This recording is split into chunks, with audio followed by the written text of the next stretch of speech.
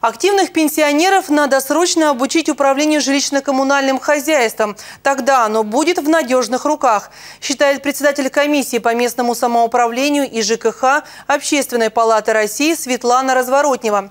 Сейчас их, как правило, обучают в специальных университетах компьютерной грамотности и другим дисциплинам. Но если бы эти занятия заменили на курсы по управлению ЖКХ, была бы огромная польза, поскольку люди пенсионного возраста часто сохраняют большую жизненную активность активность, а проблемы коммунального хозяйства и ценообразования в нем еще и сфера их повышенного интереса. Об этом пишет российская газета.